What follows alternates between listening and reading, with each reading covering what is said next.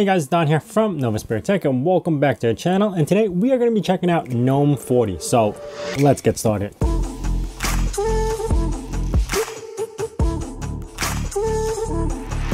So if you guys been a long time viewer of this channel, you probably know that I am a GNOME desktop environment user. And I know I do KDE stuff. I also like XFCE for lightweight stuff, but GNOME is really my desktop of choice when I install it on either this computer or my laptops and everything. So today we're gonna be checking out GNOME 40 and it's based off GTK4 and the operating system I'm going to be using is GNOME OS which you could download their nightlies officially from gnome.org.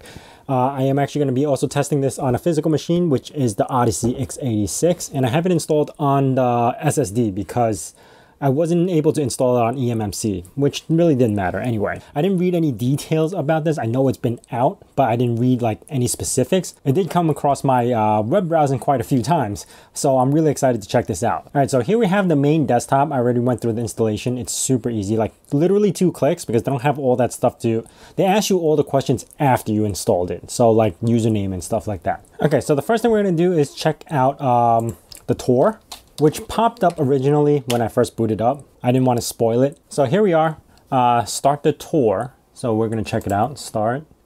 Get an overview, press activities to see and open up Windows apps. Okay, that I already know. Uh, make your own apps, arrange.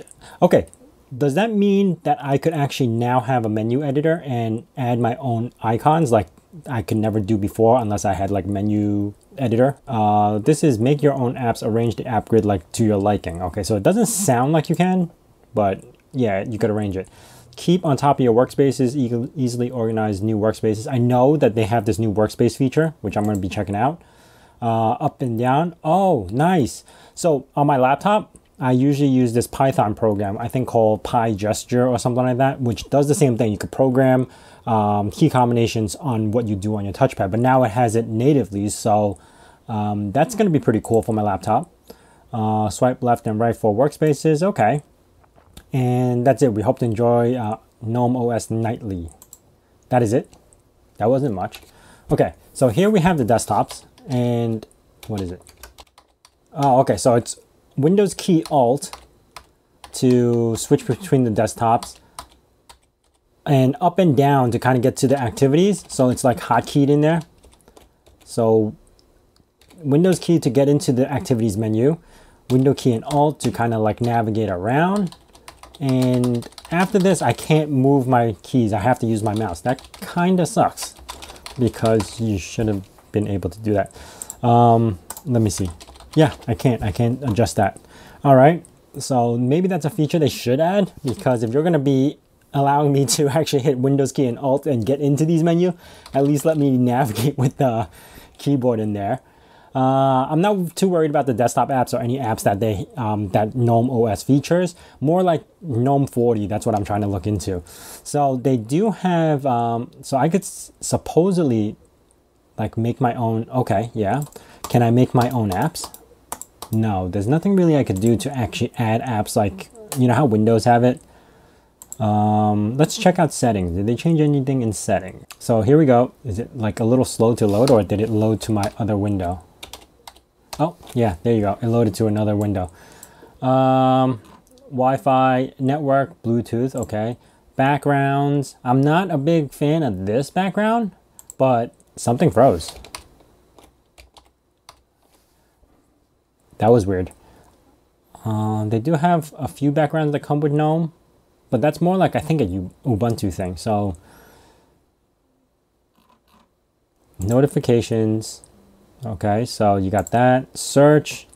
Same as before, you still get the search features if you're going into your activities. Applications. Uh, okay, you could set if uh, you get notifications from those and like not really I could do anything with this. They supposedly have a new file manager as well, which we're going to be checking out. Privacy. Okay, you can enable, disable. This is where you would do your screen lock as well. Okay. Uh, what else do we have? Online account sharing. Do we still have file sharing? Yep, screen, media, remote login. Okay, cool. Sounds, nothing much change over here. Power options, balance. Oh, now you get a cho choice between balance or power saver. Before it wasn't like this. It was just power saving and you, you set stuff like this. Uh, display. Okay, that's standard. Uh, natural scrolling or not. Okay. Keyboard. This is where you could change customized shortcuts. Let's see. Okay, that kind of looks a little bit different than what it was before. I think it would switch to another menu. Printers, removable media, color. Uh, you know what I didn't see? A dark theme or theming at all.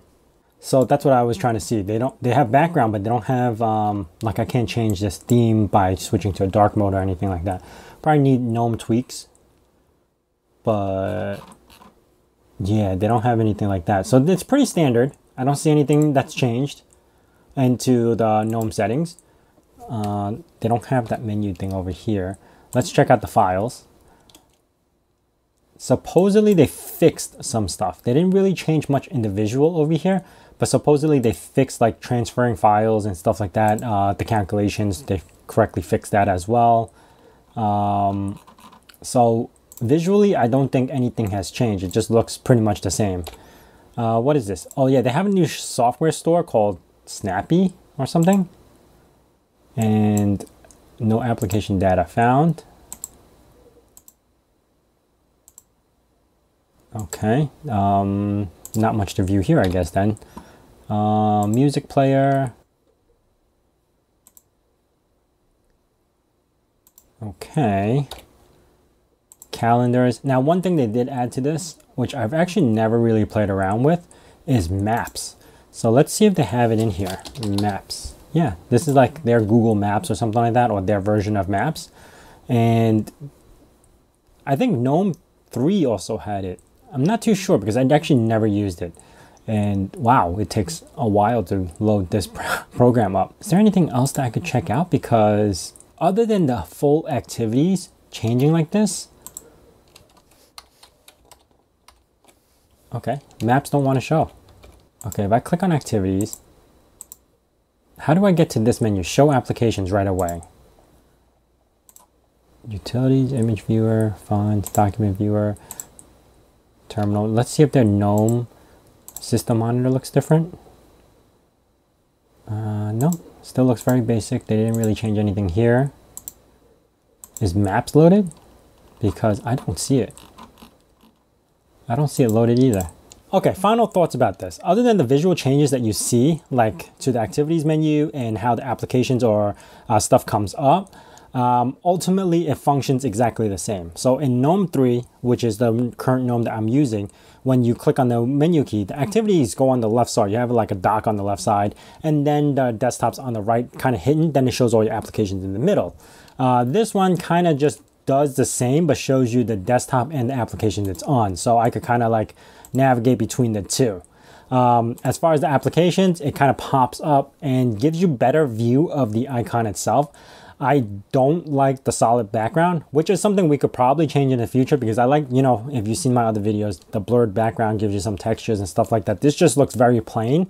So that's fine right now, but um, ultimately, the visual changes I could see uh, doesn't affect much, but I feel like it's a little bit more intuitive, if that makes sense. It's a, it feels like I know how to navigate through this compared to when I first started GNOME 3 and you actually had to like press this and then look for the activity on the left side. It wasn't as intuitive as this. So I, I in a way like this right now.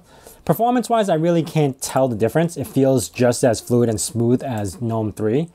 Uh, but other than that, I kind of like it. I just need to know how much support there is for extensions on this guy before I fully switch over to GNOME 40. Anyway, uh, that's it for me, guys. If you guys like this video, please hit that like button. If you guys have any questions about this, hit it down in the comments below. And if you guys are new to this channel, consider subscribing. Also hitting that bell notification icon so you know when the next video is going to be out. And as I say in my nerd cave,